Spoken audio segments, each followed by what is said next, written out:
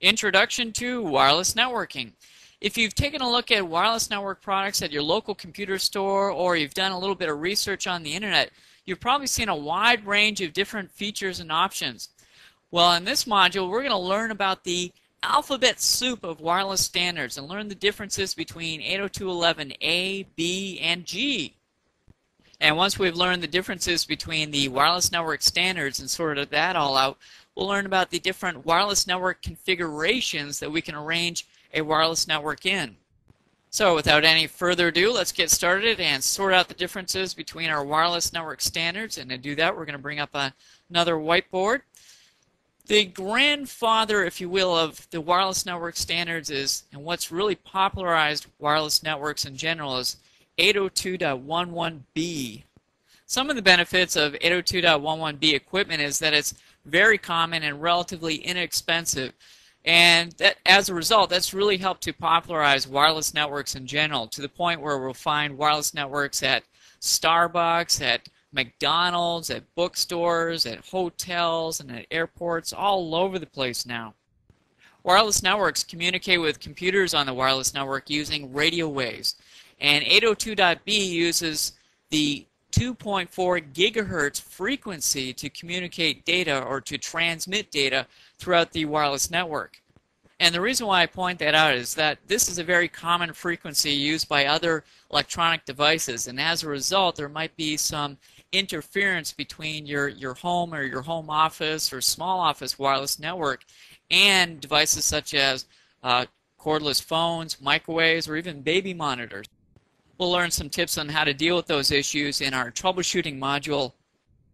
The maximum data transmission rate for wireless equipment using 802.11b is only 11 megabits per second, which is pretty good for basic tasks such as checking email.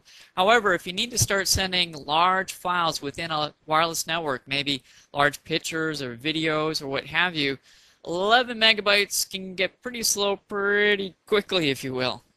Another benefit of using 802.11b equipment is that it has a relatively good indoor range of about up to 150 feet, meaning that your computer configured with a wireless network adapter should be able to connect to a wireless access point all the way 150 feet away from you. Now, this range that I have here will vary from manufacturer to manufacturer, and the effective range will also uh, differ depending on the interference between your computer and the wireless access point. For example, the more walls between your computer and the wireless access point, the less range that you'll probably have. Additionally, the data transmission rates will decrease the further your computer is from your wireless access point. However, one of the big disadvantages of the standard is its weak security features. And this is one of the main reasons why a lot of companies haven't introduced wireless networks into their network yet. We'll learn all about the different wireless security features that are available with the different standards in our wireless security module. So those are the key features of 802.11b wireless equipment. And you'll be able to find a lot of this equipment very inexpensively at a lot of computer stores compared to the new wireless equipment. I personally would not recommend that you use 802.11b equipment if you're buying new equipment right now due to its weak security especially if you're in an urban area where your neighbors are really close to. If you're way out in the country and your next neighbor is maybe a mile away or something like that, I wouldn't worry about it and you want to save a little bit of money, sure, go with 802.11b. However, do note though, if you go to with 802.11b, you'll have weak security. Our next wireless standard was a answer to the cry for more speed. Can I have this wireless network a little faster, please? 802.11a wireless equipment isn't a huge revolutionary change over 802.11b. Really, the equipment itself is very similar to 802.11b equipment. It's not as common. There aren't as many uh, 802.11a wireless network adapters and wireless network access points available at computer stores and as a result, it's a little more expensive. But the di big difference between A and B is that number one, it communicates on a different frequency, 5 gigahertz versus 2.4 gigahertz. So you should have hopefully less interference with other electronic uh, devices such as cordless phones. Also, it communicates at a much faster data transmission rate of 54 megabytes per second versus the 11 megabytes per second with 802.11b.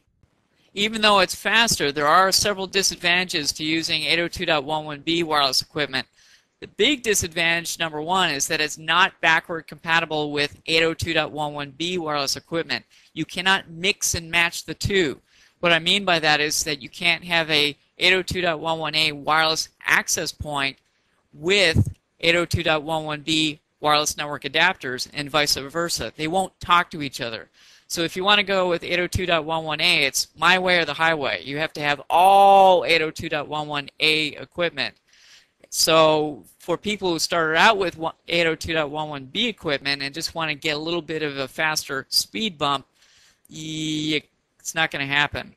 Also, big difference between 802.11b equipment is that the maximum range, the distance from your wireless network computer to the wireless access point is only 75 feet compared to 150 feet with 802.11b equipment.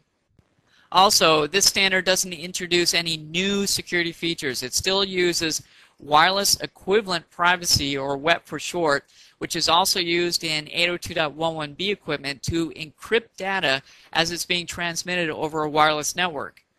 The big difference between 802.11a and 802.11b encryption is that in 802.11b we can encrypt data with 128-bit WEP encryption, whereas in A we can encrypt data with 152-bit encryption, which is a slight improvement, but the encryption method itself is flawed to begin with, so it really doesn't provide any higher degree of security.